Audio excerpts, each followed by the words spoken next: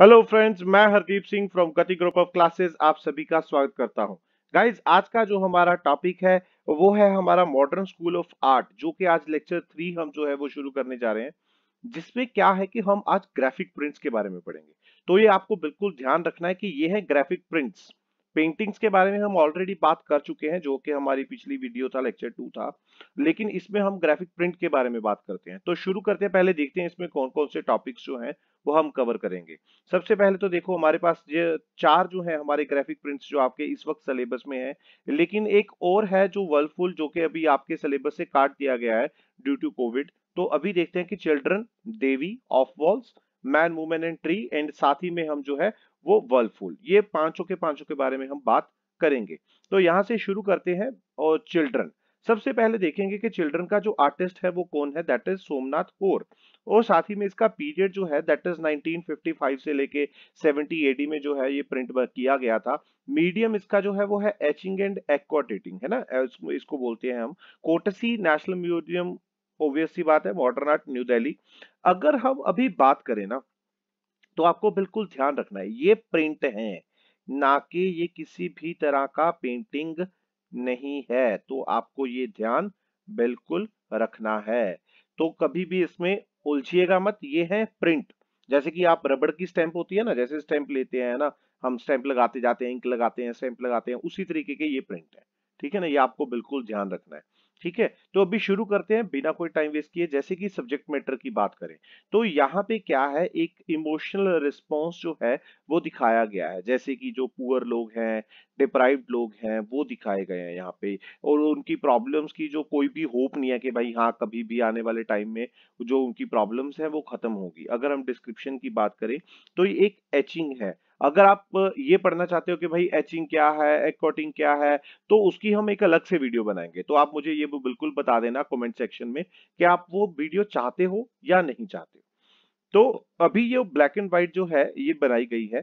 Figurative work हम इसमें सारा का सारा देख सकते हैं और इसने जो है, वो इनोसेंट पुअर लोगों के बारे में पूरी की पूरी जो बात है, वो की गई है। और ये एक कंपोजिशन है जिसमें के पाँच फिगर्स जैसे कि one two three four and five, ये पाँच फिगर्स जो है, वो इसमें बनाई गई हैं। और लेकिन क्या है कि they all are the victims of the starvation वो मतलब भूख के मारे तड़प रहे हैं वो सभी, ठीक है ना? बच्चे जो है वो बहुत पतले पतले दिखाए गए हैं, उनके स्टमक्स जो है वो बाहर निकले हुए हैं या फिर अंदर घुसे हुए हैं ना, वो दिखाई दे रहे हैं। हमें साथ में उनकी जो रिब केजेस हैं वो दिखाई दे रही हैं हमें, ठीक है ना? उनके फेफड़े दिखाई दे रहे हैं। तो मतलब दिख रहा है कि भाई वो काफ़ी देर से जो है वो ना भूखे भूखे हैं, ठीक है ना? उनके हेड्स जो है वो लाइक स्कल्स की तरह है बोनी फेसेस लग रहे हैं, काफ़ी लिम्स जो है उनके, है ना? उनके जो फेस के जो लिम्स हैं, वो भी अजीब से दिखाई दे रहे हैं। आईज जो है, वो बिल्कुल व्हाइट होरीफाइंग हेलोस की तरह दिखाई दे रही हैं। मतलब खाली खाली भरी भरी है ना, ये दिखाई दे रही हैं। उनकी जो एक मदर है, ये इसकी मदर है इन दोनों बच्चों की, ठीक है ना? जो इनकी मदर है, वो इनके पीछे खड़ी है, लेकिन उसके फिर भी वहाँ पे प्रोटेक्टिव हैंड्स मतलब उसने अपने हैंड जो है, वो उनके कंधों पे रखे हुए हैं, बच्चों के शोल्डर पे। अगर हम फोरग्राउंड में बात करें तो वहाँ पे एक सेमी ड्रेस्ड जो चाइल्ड है, वो खड़ा है, जिसने की एक नेकलेस पहना हुआ है, ठीक है ना? ये उसका नेकलेस है, ठीक है ना? ये नेकलेस पहना हुआ है और जब सबसे टॉलेस्ट फिगर है, जैसे कि ये वाली है ना, जो एक घोस्ट की तरह लग रही है, ऐसी लग रही है ना, जैसे कोई भूत खड़ा हुआ है ना, वो उसने अपने हेड पे जो है, वो दोनों के दोनों अपने हाथ रखे हुए हैं और एक गर्ल जो है, यहाँ पे ये भी खड़ी हमें दिखाई दे रही है, जिसने बैकवर्ड जो है, वो हमारी तरफ़ किया हुआ है, ठीक है ना? तो बिल्कुल ये ऐसी चीज़ें जो है, यहाँ पे दिखाई गई है। अगर हम ह्यूमन फॉर्म्स की बात करें तो इसको क्यूबिस्ट स्टाइल में जोमेट्रिकल पैटर्न जैसे कि ये देखो, यहाँ पे जो है है ना इस तरीके से ज्योमेट्रिकल पैटर्न जो है वो इनमें डिवाइड किया गया है। आप पूरी की पूरी पेंटिंग में जो है, पूरी की पूरी प्रिंट में आप जो ये चीज़ें देख सकते हो। कलर स्कीम की बात करें तो डिफरेंट डिफरेंट टोन्स जो है ब्लू एंड ग्रे है ना? इसके भी यहाँ पे यूज़ किए गए हैं। टेक्सचर दिया गया है उसको एज वेल एज बहुत सारे शेडेड पार्ट्स हैं जो बॉडीज के, वो यहाँ पे दिखाई गए हैं। अगर हम इन्फ्लुएंस की बात करें होर का जितना भी काम है, सोमनाथ होर का वो बहुत ही ज़्यादा इन्फ्लुएंस्ड है। किस चीज़ से? 1943 में जो बंगाल में फमाइन आया, अकाल पड़ गया, वहाँ पे सोका पड़ गया, है ना? उस चीज़ों से काफ़ी ज़्यादा प्रभावित है। उस सब्जेक्ट मैटर पे काफ़ी ज़्यादा इन्होंने जो है वो काम किया है। और उनके जो जितने भी सब्जेक्ट है ना, वो मतलब जिसको सोसाइटी ने निग्लेक्ट कर दिया है पुअर लोग हैं, जिनकी प्रॉब्लम अभी खत्म नहीं होने से आ रही है, ठीक है ना? तो एक सिंबॉलिक एब्स्ट्रैक्शन यहाँ पे उन्होंने आर्ट के ज़रिए मतलब उन लोगों की प्रॉब्लम जो है, उनकी तरफ़ हमारा ध्यान देने की और सोसाइटी सोसाइटी को ये कहा गया है कि भाई अपना साथ साथ इसके ऊपर भी ध्यान दो कि ये लोग भी हैं जिनके पास इनकी प्रॉब्लम्स खत्म होने की कोई उम्मीद ही नहीं है। ठीक है ना? तो साथ ही में यहाँ पे एक और प्रिंट है हमारे पास दैट इज़ देवी जो कि ज्योति भट्ट जी ने बनाया है। इसका टाइम पीरियड जो है दैट इज़ 1965 से लेके 67 एडी का टाइम पीरियड है। मीडियम इसका एचिंग है। Courtesy national gallery of art New Delhi जो है, वो इसका कोटसी है। ठीक है ना? ये आपको बिल्कुल ध्यान रखना है। और इसके बारे में अभी बात करते हैं, जैसे कि अगर हम सब्जेक्ट मैटर के बारे में देखें तो एचिक जो एक प्रिंट है मतलब Devi as a power of worship है ना? ओबियस ही बात है, कोई भी देवी है, चाहे वो दुर्गा माँ है, चाहे कोई भी माँ है, काली माँ है, ठीक है ना? सरस्वती माँ है, कोई भी माँ है, उनकी पूजा, अपनी माँ है, तभी भी पूजा, ठीक है ना ओबियस सी बात है they are as the power of a worship है ना हिडन पावर एक कुंडलिनी कुंडलिनी क्या होता है, ये आपको ध्यान रखना चाहिए कि जो सांप होता है ना, वो कुंडली मारता है, ठीक है ना that is a form of a physical energy अगर हम अकॉर्डिंग टू योगा उपनिषद देखें तो kundalini is a lying coiled है ना मतलब एक तारे जैसे बनी होती है ना, घूमी हुई होती है, उस तरीके से या फिर एक सरपेंट है जो कि कभी भी जा सकता है ना, ऐसा लग रहा है। तो डिस्क्रिप्शन की बात करते हैं कंपोजिशन जो है वो कॉम्बिनेशन ऑब्वियसली बात है, यहाँ पे जो हमें है, वो चीज़ें अलग अलग ये एक रेक्टेंगल दिखाई दे रहा है, एक ये रेक्टेंगल दिखाई दे रहा है तो दो अलग अलग रेक्टेंगल्स जो है, वो बनाए गए हैं। जैसे कि ये कॉइलिंग करके मतलब ये देखो ये ऐसे लग रहा है ना कि तारे हैं बनी हुई, है ना? वो चीज़ मतलब एक कुंडलिनी जो सरपंटाइन फॉर्म है, वो दिखाया गया है, जैसे कि एक सांप ने कुंडली मारी हुई हो। तो अपर रेक्टेंगल की अगर बात करें तो यहाँ पे अपर रेक्टेंगल जो है, इसमें क्या है, एक बोल्ड फेस जो है वो बनाया गया है। जो कि इसके सेंटर में है और लोअर में देखे तो यहाँ पे दो छोटे छोटे सर्कल्स आपको जो है वो दिखाई देंगे। जिनमें एक में ह्यूमन फिगर है, ठीक है ना? और जो कि एक टेल के द्वारा सेपरेट किया जा रहा है। देखो ना, ये टेल बनी हुई है ना? उसको सेपरेट कर रही है। दो अलग अलग जो है वो गोले से बनाए गए हैं। अगर हम फिगर की बात करें तो ये कर्ल्ड फिगर मतलब सर्कल्स के साथ में बनाई गई है जिसमें के कुछ स्मॉल बर्ड्स हैं या फिर मोटिव हैं फोक आर्ट के मोटिव हैं हमें दिखाई दे रहे हैं। अगर हम फोर हेड की बात करें फोर हेड ओबियसली बात है ये फोर हेड है, है ना? तो इसमें क्या है? एक वर्मिलियन कलर इसको हम बोलते हैं वर्मिलियन कलर ठीक है ना? ये आपको ध्यान रखना है। तो मतलब एक रेड बिंदी हमें दिखाई दे रही है, जो कि बहुत ही अट्रैक्टिव है। पूरी की पूरी जो प्रिंट है, उसका जो सेंटर ऑफ़ अट्रैक्शन है, वो बिंदी बना रखी है। तो वाइड ओपन आइज़ जो है, हमें वो काफ़ी खुली आइज़ जो है, वो दिखाई दे रही है। अगर हम टोन्स देखें तो वहाँ पे सैप ग्रीन कलर जो है, वो काफ़ी थोड़ा बहुत यूज़ किया गया है। डेकोरेटिव पेंडेंट्स ये ये वाले सैप ग्रीन कलर है ना? ये दोनों के दोनों। आप यहाँ पे देख भी सकते हो बहुत ध्यान से कि यहाँ पे जो है वो ये देखो, ज्योति भट्ट यहाँ पे लिखा हुआ है, यहाँ पे देवी लिखा हुआ है, यहाँ पे कुंडलिनी लिखा हुआ है, यहाँ पे सूडो लिखा हुआ है, तांत्रिक लिखा हुआ है। ठीक है ना? ये चीज़ें जो है, वो हमें दिखाई दे रही हैं यहाँ पे, ठीक है ना? तो देर इज़ इंटरेस्टिंग राइटिंग जो दो के, जो ये दोनों के दोनों पेंडेंट्स बोले गए हैं जिसपे वन एक पे आर्टिस्ट का नाम भी लिखा हुआ है, दूसरों पे सुडो तांत्रिक कुंडलिनी जो है, वो चीज़ें लिखी हुई हैं। मतलब कहीं ना कहीं ये पूरी की पूरी जो सब्जेक्ट मैटर है, वो खुद ही डिस्क्राइब कर दे रहे हैं, ठीक है ना? तो डीप लीनियर एचिंग जो है मतलब काफ़ी ज़्यादा डीप जो एचिंग है वो की गई है। ऑब्वियसली बात है, एक सरपंटाइन फॉर्म दिखाया गया है। तो एक साथ में ना ये फ्लावर्स जो चीक्स पे बनाए गए हैं, ये दोनों के दोनों, ये एक जो ज्योति जी हैं, ज्योति भट्ट जी हैं, जो उनका एक स्टाइलाइजेशन बन जाता है कि गॉडेस के फेस है तो ऑब्वियसली बात है वहाँ पे फ्लावर्स ज़रूर बनाएँगे, है ना? ये एक तांत्रा अगर हम बात करें ना, तांत्रिक फिलोसफी के ऊपर जो है, ये काम किया गया है, ठीक है ना? ये आपको बिल्कुल ध्यान रखना है कि जो कि एक शिवा जो है ना, शिव, है ना, वो उनकी ओबियसली बात है, वो बहुत ही शक्तिशाली हैं। तो पावर्स ऑफ़ शिवा एंड शक्ति ये दोनों के दोनों यहाँ पे यूनाइट कर दिए गए हैं बाय द कुंडलिनी है ना, जो कि हमारी स्पिरिचुअल अवेकिंग कर रही है, हमें हमारी धार्मिक भावनाओं को जगा रही है, ठीक है ना, ज्योति भट्ट की जी का जो ये काम जो उन्होंने किया हुआ है, उसको हम पोप आर्ट में भी लेते हैं, ठीक है ना तो उन्होंने एक पर्सनल लैंग्वेज ऑफ़ सिंबल्स जो है, वो इंडियन कल्चर को दिखाने के लिए यूज़ किए हैं।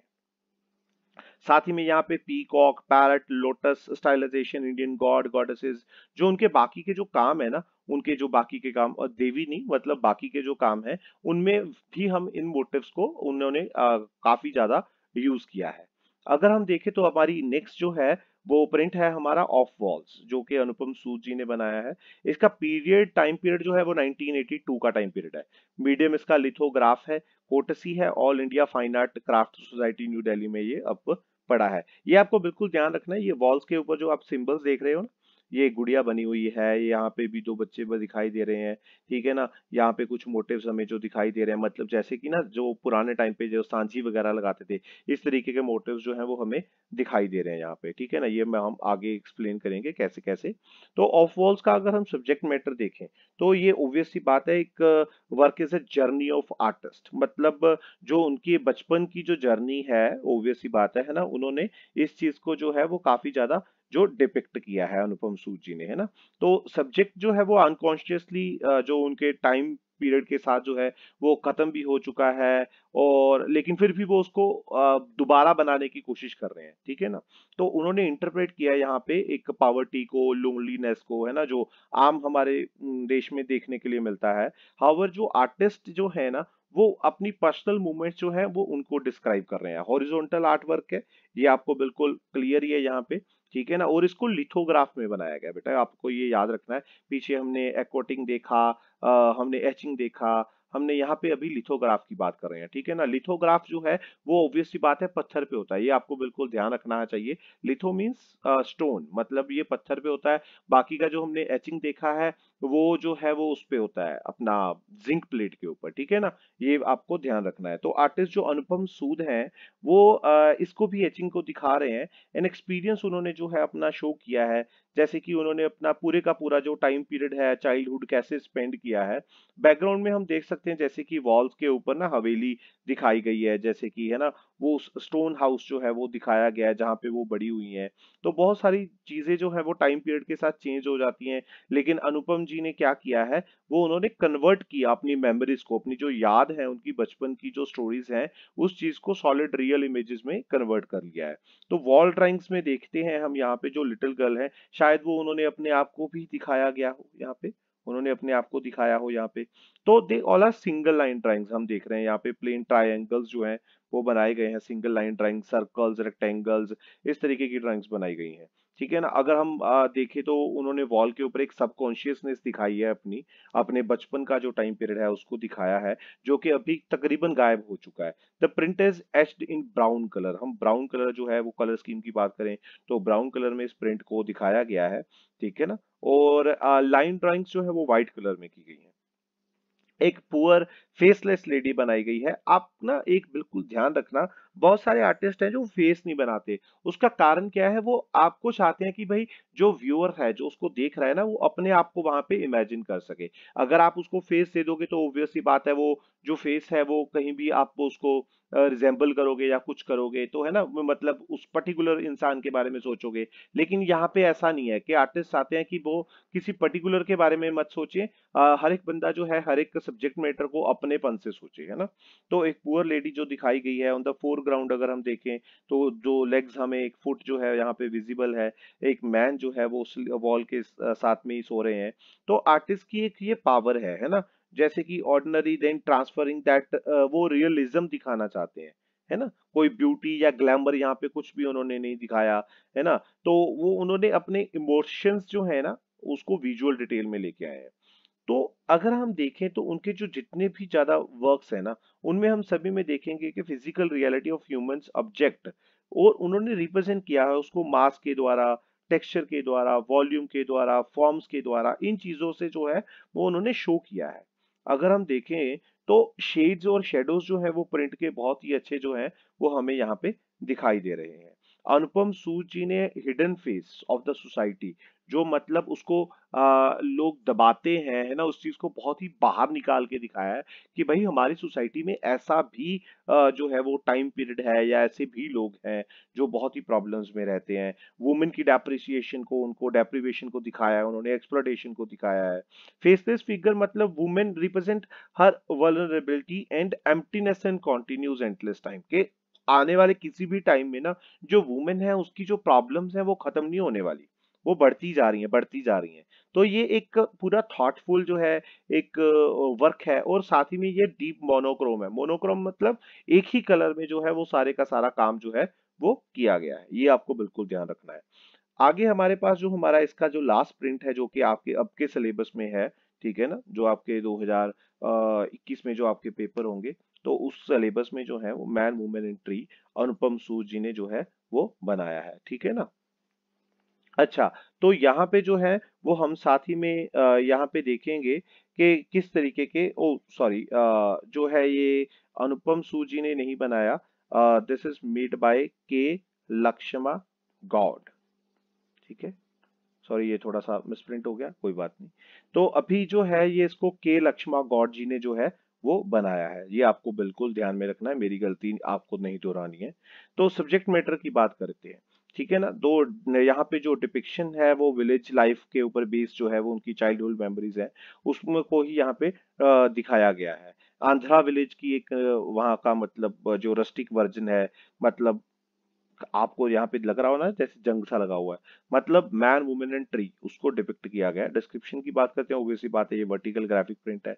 जिसमें चार ट्रीज एक, दो, तीन, चार, यहाँ पे चार ट्रीज जो है वो दिखाए गए हैं। लेफ़्ट साइड के प्रिंट में जो है वो तीन ट्रीज हैं और राइट साइड में एक जो है वो हमें दिखाई दे रहा है ठीक है ना? और बैकग्राउंड में अगर हम देखें तो वहाँ पे बहुत सारी ब्रांचेस जो हैं वो आ, पूरा बिल्कुल ऊपर जाके बनाई गई हैं ताकि जो पूरी की पूरी कंपोजिशन है उसको बैलेंस किया जा सके ठीक है ना? फोरग्राउंड में हम देख सकते हैं कि राइट साइड में एक वुमेन जो है वो एक साड़ी पहने हुए जो है वो बैठी है एक सिंगल ट्री के अंडर और उन्होंने एक नोज़ रिंग भी पहना हुआ है दो बैंगल्स भी पहनी हुई है अपने दोनों के दोनों आर्म्स में तो वो एक मैन की तरफ़ देख रही है ठीक है ना? तो जो कि एक तीन ट्रीज जहाँ पे ये एक मैन बैठा है है ना? तो ये एक फ्लावर्स का जो है वो उनको थोड़ा सा डिफरेंस उनमें दिखाई दे रहा है। दे आर सिंपल विलेजेस जो कि साउथ इंडिया के विलेज में रहते हैं। तो और एक फ्लावरिंग प्लांट्स जो श्रब्स हैं वो उनको सेपरेट कर रहे हैं दोनों को। तो ट्रीटमेंट अगर हम देखें तो लीव्स हर एक ना हमें यहाँ पे अकेला अकेला देखो डिटेल जो है वो पूरी की पूरी हमें दिखाई दे रही है। ठीक है ना? कलर स्कीम की बात करें तो लाइट ब्लू या ग्रीन कलर जो है वो इसमें यूज़ किए गए हैं, जिसमें के पूरे के पूरे प्रिंट को बहुत ही ज़्यादा इंप्रेसिव और एक्सप्रेसिव जो है, वो बना दिया है। तो यहाँ पे हम ब्लू और ग्रीन कलर्स के जो पैचेस हैं, वो देख सकते हैं ब्रांचेस के ऊपर। तो it is a soft palette मैं मतलब फिर दोबारा वही बात करेंगे कि मोनोक्रोमेटिक कलर्स जो है मतलब एक सिंगल कलर को लेके जो है, वो अलग अलग चीज़ों को दिखाया गया है। मतलब हारमनी को नेचर के साथ और ह्यूमन के साथ जो हारमनी है, उन दोनों चीज़ों को यहाँ पे डिपिक्ट किया गया है। ठीक है ना?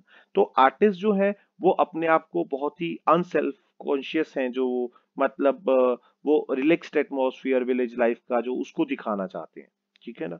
यहाँ पे फ़िज़िकल अट्रैक्शन दिखाया गया है मैन एंड वुमेन के बीच में ओबियस ही बात है ना? तो एक्सप्रेशन ऑफ़ विलेजेस मतलब एक बिल्कुल के भाई जो एक विलेज लाइफ होती है ना जो नेचर के साथ पूरी एब्जॉर्प्शन हुई हुई है उस चीज़ को जो है यहाँ पे डिपेक्ट किया गया है। अच्छा अगला जो एक प्रिंट है वो अभी फ़िलहाल तो आपके सिलेबस में आ, नहीं है लेकिन जो आगे के सिलेबस आएँगे, उसमें ज़रूर होगा। जैसे कि वर्लपूल जो है, वो कृष्णा रेड्डी जी जो है, उन्होंने बनाया है। तो पीरियड इसका जो हम देखते हैं 1955 से लेके 70 का टाइम पीरियड है। मीडियम इसका ऑब्वियसली बात है एचिंग है। कोटसी इसकी national gallery of modern art new Delhi है। अगर हम इसकी अभी जो डिपिक्शन है, उसकी बात करते हैं तो वर्लफुल एक बिल्कुल अब्स्ट्रैक्ट आर्ट है, जिसमें क्या है? ऑर्गेनिक फॉर्म्स दिखाई गई हैं, ठीक है ना?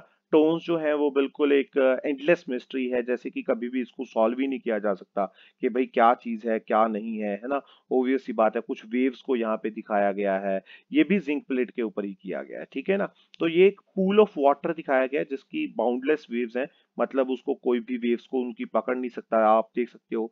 This is the centre of the painting है ना, जहाँ पे वो सारी की सारी वेव्स जो हैं, वो इकट्ठी हो रही हैं। ब्लू और ग्रीन कलर जो है, वो काफ़ी ज़्यादा इसमें यूज़ किया गया है। कंप्लीट हारमोनी जो है, वो दिखाई गई है, ठीक है ना? तो फोर्स ऑफ़ टर्बुलेंट वाटर मतलब जिसके पास इतनी ज़्यादा कैपेसिटी है कि वो सारी की सारी चीज़ों को अपने अंदर समा सकता है। ठीक है ना? तो उस चीज़ को जो है यहाँ पे दिखाया गया है। रेड्डी जी जितना भी काम करते थे, वो सारे का सारा एब्स्ट्रैक्ट काम करते हैं, है ना? मल्टीपल मीनिंग्स हो सकते हैं इसके। आप कुछ और मीनिंग निकाल सकते हो, मैं कुछ और निकाल सकता हूँ। हो सकता है रेड्डी जी ने कुछ और बनाया हो, है ना? तो बट जब यू रिटर्न टू देम ना तो यू डिस्कवर न्यू एस्पेक्ट्स जब भी हम इसमें देखते हैं कुछ नया एस्पेक्ट्स हमें जो दिखने के लिए मिलते हैं, ठीक है ना? तो आर्टिस्ट जो है वो ओबियसली बात है, एक इंटरनेशनल पूरा का पूरा काम करते हैं, ठीक है ना? तो रेड्डी जी एक पायनियर है, किस चीज़ के? कलर विस्कोसिटी मतलब एक कलर को इस तरीके से खेलते हैं वो कि भाई उसके साथ बहुत ही अच्छी चीज़ें बना देते हैं। ठीक है ना? तो ओबियसली बात है किसी किसी आर्टिस्ट में जो है वो चीज़ें होती हैं। तो नंदलाल बोस जी को जो है वो अपना बॉस मानते हैं, ठीक है ना? एक तरह का अपना गुरु मानते हैं, ठीक है ना? तो ये आपको बिल्कुल ध्यान में रखना चाहिए। तो इस तरीके का जो प्रिंट है, ये वर्लफुल जो है वो बनाया गया है। तो गाइज़ अगर हम आप चाहते हो कि भाई हाँ हम इस चीज़ पे भी वीडियो बनाएँ कि कौन सी ग्राफिक्स आर्ट कैसी होती है कैसी नहीं होती है लिथोग्राफ क्या होता है कैसे होता है एचिंग या एक्वेंटेड कैसे होता है तो वो आप मुझे अ, अपने जो है वो कमेंट सेक्शन में बता सकते हो अगर आप वीडियो चाहते हो तो हम ज़रूर बनाएँगे आप तक ज़रूर पहुंचाएँगे। तो गाइज़ अभी जो आज का हमारा टॉपिक है वो यहीं पे खत्म होता है। ठीक है ना? तो मिलते हैं नेक्स्ट वीडियो में, जो कि आपकी स्कल्पचर की वीडियो होगी, ठीक है ना? तो उसमें हम जो है वो बाकी की बातें करेंगे। अगर आपको ये वीडियो पसंद आई तो प्लीज़ इसे लाइक शेयर ज़रूर करें। और हाँ अगर आप नए हैं तो चैनल को सब्सक्राइब कर दीजिएगा। Thank you very much guys bye bye everyone